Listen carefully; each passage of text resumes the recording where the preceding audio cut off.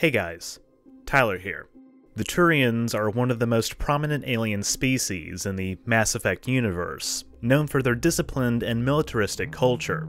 The Turians are the third race to join the Citadel Council, and are notorious for their role in helping quell the Krogan rebellions. They are respected for their public service ethic as well as their contributions to the Citadel fleet in the form of soldiers and starships, they are, however, sometimes seen as rigid and imperialist by other races. Indeed, there's a lasting animosity between Turians and humans after having fought a war in the mid 22nd century, though this bitterness has slowly begun to heal. The Turians have a rich history and culture, as well as a distinct biology that sets them apart from many other races in Mass Effect's Milky Way. In this video, I'll examine these and other topics and attempt to answer the question, could a species like the Turians evolve in real life? Let's find out. I'll start with the Turians' anatomy and physiology. Like many other intelligent species in Mass Effect, the Turians are bipedal in stature and stand over 6 feet or 1.8 meters tall.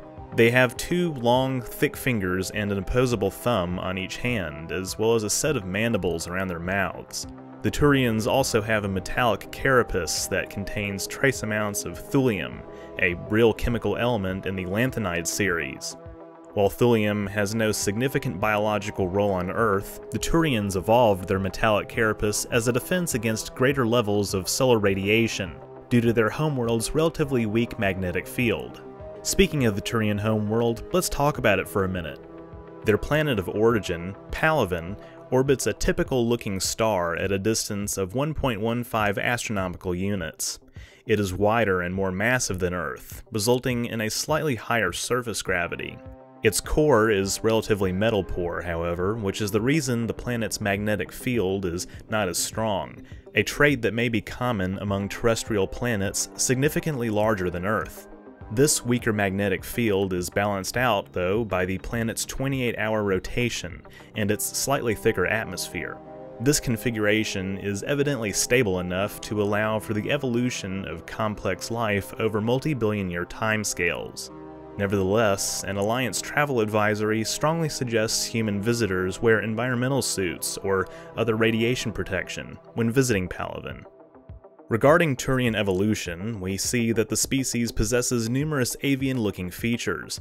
In fact, David Anderson claims that Turians remind him of the evolutionary link between birds and dinosaurs, though I have to say I personally don't see it. The Turians are, however, viviparous, meaning they give birth to live young.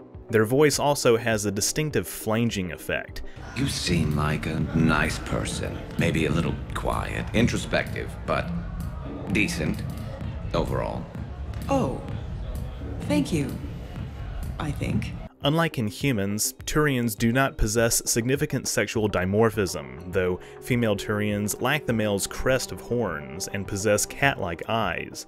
The Turian lifespan is also comparable to that of humans. Turians have blue blood that may be based on the protein hemocyanin instead of hemoglobin. Hemocyanin is in fact found in some earth animals, such as horseshoe crabs. Turians also exhibit characteristics of predators, including forward-facing eyes as well as teeth and jaw structures resembling those of Earth's crocodiles. Their diet is thus primarily meat-based, and their digestive systems may be similar to Earth reptiles. Their slender bodies also seem to suggest they are capable of moving at high speeds, which would be helped along by their digitigrade legs. Even though life on Palaven is carbon-based, it is built on dextroamino acids instead of the more dominant levoamino acids, a phenomenon called chirality. On Earth, virtually all known life uses levoamino acids and dextro sugars. Biomolecules with the opposite chirality may be one of the least unusual forms of alternative biochemistry in the universe. However, such biomolecules would be incompatible with those of typical stereochemistry. One way that this manifests in Mass Effect is the fact that the Turians cannot digest food from levoprotein biospheres, which can be fatal if left untreated. Turian civilization is said to span 15,000 years of history. Before the dawn of their civilization, the Turians were viewed by elder races like the Protheans as quite primitive, much like the other ruling races of the modern era. Also, like the other future council species, the Turians have a mass relay in their system, with the first Turian ship to travel through the relay, the THV Ravenna. By the time the Asari reached the Citadel, the Turians had already discovered several mass relays and established colonies throughout the galaxy. When the Asari formed the Council with the Salarians, the Turians were embroiled in a bitter civil war. Known as the Unification War, the conflict originated after hostilities broke out between colonies furthest from Palaven. These colonies had become isolated and xenophobic over the years without the galvanizing influence of the Turian government, known as the Hierarchy. Colonists began wearing face tattoos to differentiate themselves from members of other colonies. For the longest time, the hierarchy refused to get involved. After they did, though, the colony chieftains had become too weak to resist, being forced to put an end to the fighting and renew their allegiance. While peace was restored, it took decades for animosity between the colonies to fade entirely. To this day, most such Turians still wear the facial markings of their home colonies. The Council made first contact with the Turians in the midst of the Krogan rebellions, which lasted from the 8th to 9th centuries CE.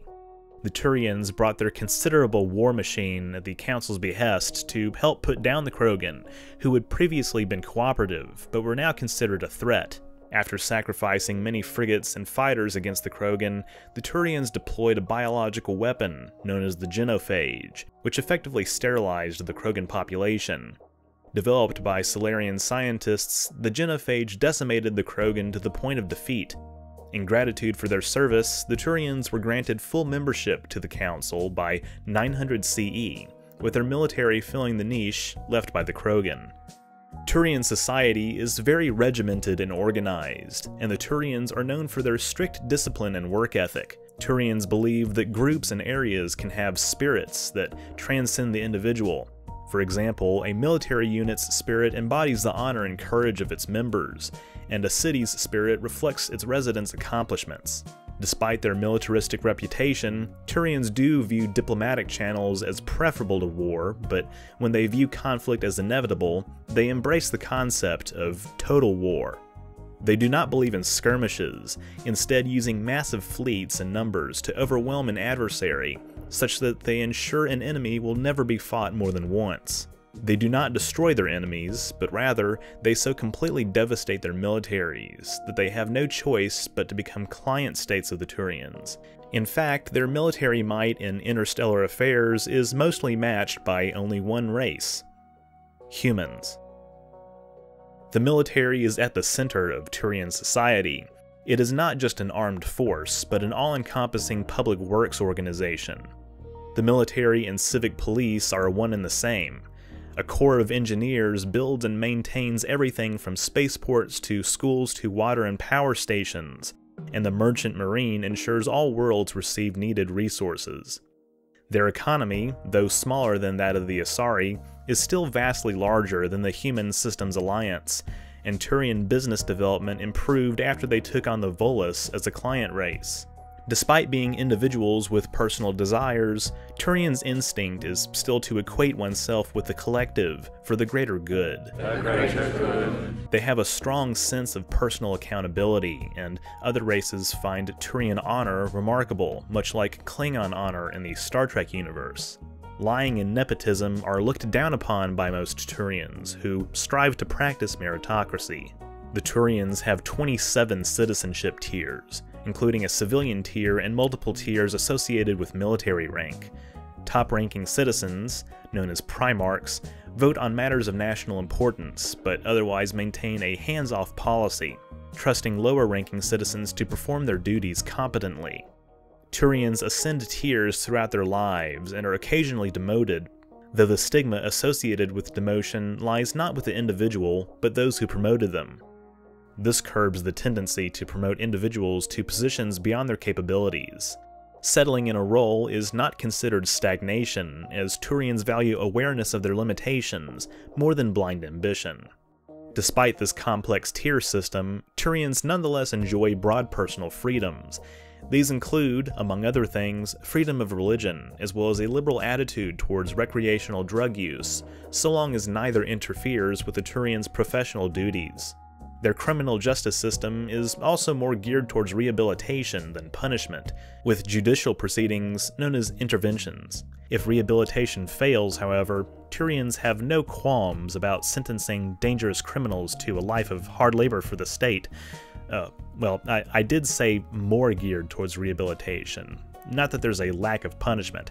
Uh, well, regardless, the sum of Turian's cultural practices has earned them a reputation as being one of the most socially progressive Citadel species, possibly second only to humans. The hierarchical structure of their government and military means that changes accepted by leadership are quickly adopted with minimal resistance. So, to recap, the Turians have a distinct biology adapted for the environment of their homeworld. Their anatomy is a blend of avian-like features as well as metallic carapace that shields them from harmful UV radiation. Their biology is also based on dextroamino acids instead of levoamino acids, meaning they cannot properly digest the food of many other cultures. Their own culture is centered on military and public affairs, though they have a strong individualist streak. They form part of the backbone of the Citadel Council, particularly in matters of defense, and first suggested the formation of Citadel Security Services, or C-Sec. Their reputation as a progressive people is nevertheless counterbalanced by their complicity in the effective genocide of the Krogan. All in all, I think that the Turians are one of the most fascinating species in Mass Effect, from both a biological and a socio-cultural standpoint. While they must endure harsher environmental conditions on Palaven, I could see something like them evolving in real life, given the right conditions. So, if you were an Alliance commander tasked with an important mission, would you recruit a Turian to serve on your crew? When you play as Commander Shepard, how often do you select Garrus as a squad mate? I, I personally select him quite often. Let me know down in the comments.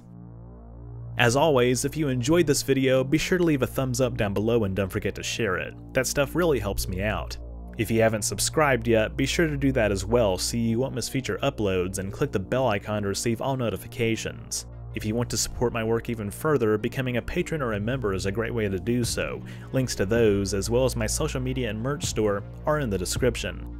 That's all I have for this week. I should go.